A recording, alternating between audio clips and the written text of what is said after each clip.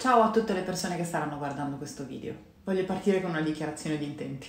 Non mi sono seduta qui oggi per arrabbiarmi o fare arrabbiare o attaccare, nonostante ci sia anche tanta rabbia in me per questa vicenda. Il mio obiettivo è quello di comprendere e farmi comprendere. Sebbene so che questo video verrà visto da un sacco di donne, i miei interlocutori sono dichiaratamente gli uomini. Nello specifico gli uomini eterosessuali e cisgender. Se ti stai chiedendo che cacchio è un uomo cisgender, probabilmente sei tu. Cioè una persona con dei genitali maschili che è stata dichiarata uomo alla nascita e che si sente uomo. E parlo non dall'alto delle mie competenze, ma perché ci ho messo io una vita a capire alcune cose e ho fatto e faccio milioni di errori. E se quel poco che ho imparato può servire a qualcuno, intanto che continuo a imparare tutto quello che non so, cioè praticamente tutto, provo a condividere il poco che mi pare di aver capito. Come forse avrai intuito dal titolo, eh sì, sono ufficialmente passata alla seconda persona singolare perché vorrei poter parlare singolarmente a ogni uomo. Oggi vorrei provare a fare un po' di chiarezza sull'obiezione non tutti gli uomini, che viene fatta ogni volta che si discute di un problema di genere. E la primissima cosa che voglio dire è che è vero, è verissimo, non tutti gli uomini. Per le donne che mi stanno guardando, soprattutto per le mie colleghe femministe, vorrei citare Aldo Baglio quando dice sembra che mi sto incartando ma adesso ne esco, perché lo so che sentire questa cosa fa arrabbiare, lo so io, lo sapete voi, sappiamo pure perché e comprendo perfettamente quella rabbia perché è la stessa mia. Però fidatevi che adesso ne esco. Stavo dicendo, è vero, non tutti gli uomini non tutti gli uomini stuprano, non tutti gli uomini uccidono le proprie compagne, non tutti gli uomini mandano nelle loro chat con gli amici i video e le foto delle loro ex. Tutto estremamente vero. Ma infatti, se ci fai caso, è estremamente improbabile sentire delle frasi tipo tutti gli uomini sono degli stupratori o tutti gli uomini uccidono le proprie compagne. Se qualcuno dicesse una cosa del genere, qualsiasi persona con un po' di senno direbbe, beh, No. Quello che viene detto di solito è che gli uomini hanno un problema con la violenza, con il possesso con le molestie. Tutti gli uomini? No. Però questo è un problema maschile e a dirlo è la statistica. Poi ci sta che sia un problema maschile ma non tuo nello specifico. Le due cose coesistono. La domanda è, quando diciamo che le statistiche sono terrificanti e che ci sono troppi uomini che agiscono in un certo modo. In che modo dire eh, ma non tutti aiuta a gestire il problema? Questo è il primo punto del mio discorso e vorrei che fosse molto chiaro.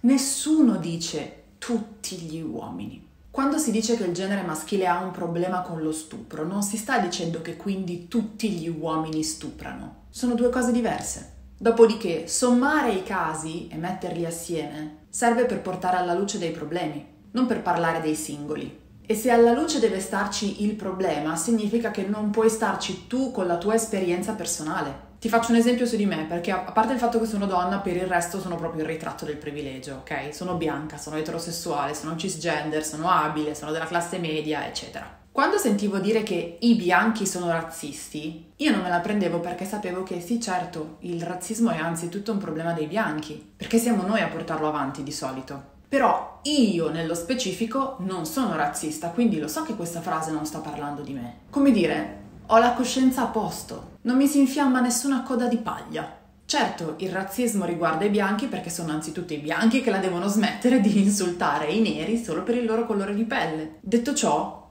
io non lo faccio e non sento il bisogno di dire ehi, ma non tutti i bianchi, perché lo so, il fatto che sia un problema dei bianchi non significa che tutti i bianchi siano razzisti. E ora la parentesi che prima ho fatto per le donne, adesso devo farla per tutte le persone che fanno parte di una minoranza etnica e che in questo momento staranno pensando: Eh, amica, tu lo sai che non funziona così per niente, vero? La mia risposta è sì, ma ci arrivo un passo alla volta, fidatevi. Quindi, primo step, dire che una categoria ha dei difetti non significa dire che tutti i membri di quella categoria hanno quei difetti.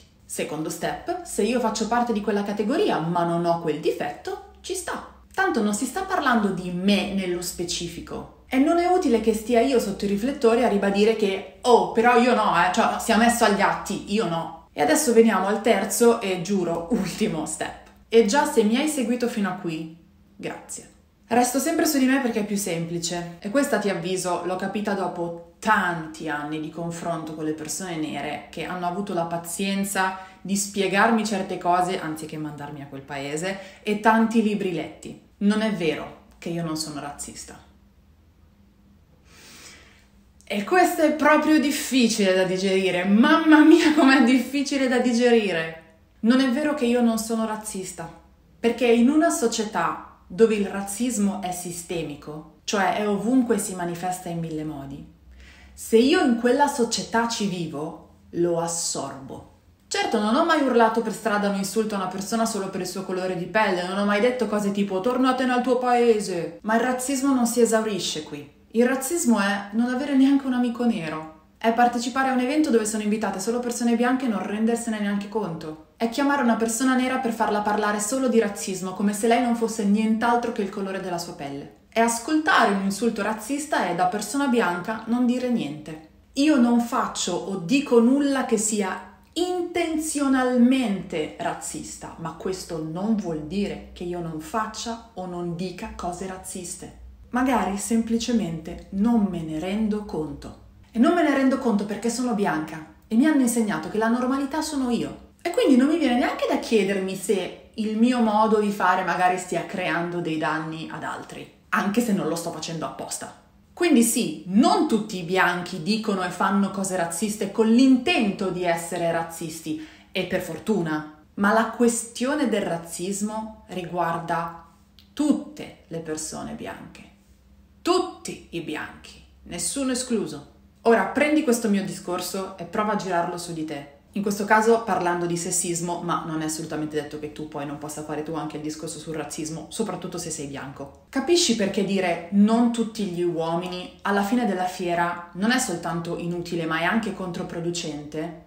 Perché in questo modo ti stai perdendo un pezzo. Perché la questione delle molestie, degli stupri e dei femminicidi riguarda tutti gli uomini, tutti quanti, nessuno escluso. Perché è vero che sicuramente tu non hai mai fatto male a nessuna donna. Ma quante volte ti sarà capitato di sentire un tuo amico fare una battutaccia su una ragazza e stare zitto? O magari riderne.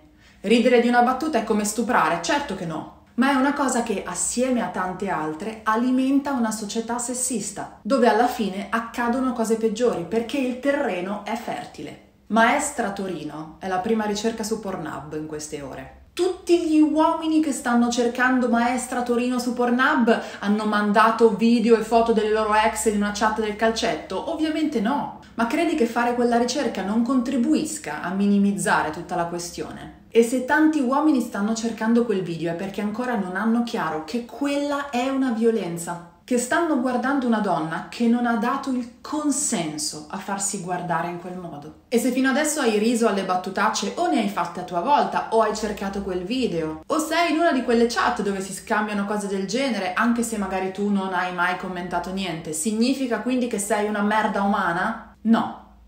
Sei un uomo e in questa società che è sessista è tristemente normale che un uomo faccia certe cose. Ma questo non ti toglie la responsabilità di quello che fai e di quello che non fai, dei tuoi silenzi, del tuo non dire ragazzi state esagerando e così via. Dico che riguarda tutti gli uomini perché ogni uomo può fare qualcosa dal momento in cui diventa consapevole di questi meccanismi. Perché sai cosa succede se queste cose le dico io? E le dico da qualche anno, quindi ho un po' di esperienza. Succede che mi arrivano minacce di stupro e di morte. Da parte di uomini che probabilmente nella vita vera non hanno mai stuprato e ammazzato nessuna, ma quindi è sufficiente? Non molestare, non stuprare, non ammazzare è il minimo richiesto. C'è bisogno di alzare la barra, c'è bisogno di fare molto di più. E siccome quando lo faccio io, quando lo facciamo noi donne in generale, la shitstorm è dietro l'angolo, c'è una sola alternativa ed è che lo faccia tu. Non dico che tu ora debba aprire un profilo Instagram e diventare un attivista, ma il tuo amico che fa la battuta sessista è molto più portato ad ascoltare te se gli dici oh, però adesso piantala, che non me. Parti da lui, parti da te. Tu dici e fai cose sessiste, esattamente come io dico e faccio cose razziste, lo so, non ci piace, però è così. Anche se non vorremmo, anche se siamo convinti di non farlo. Questo ci rende esseri immondi? No, ci rende persone però con delle responsabilità che possono accogliere i propri errori, sapendo che non siamo solo quelli e non ci definiscono totalmente, e ci rende persone che possono chiedersi come fare per fare meglio. Quindi, in sostanza, sì, tutti gli uomini, ma non per come lo hai inteso forse all'inizio. Non tutti gli uomini stuprano, ma tutti gli uomini hanno la responsabilità di educarsi e capire quanto sessismo abbiano assorbito e come questo si manifesti. Non è una guerra, non è uomini versus donne, quelle cose lasciamole ai teatrini della TV. Qua proviamo a fare qualcosa di più utile, per favore, proviamo a farlo insieme. Grazie per avermi ascoltato.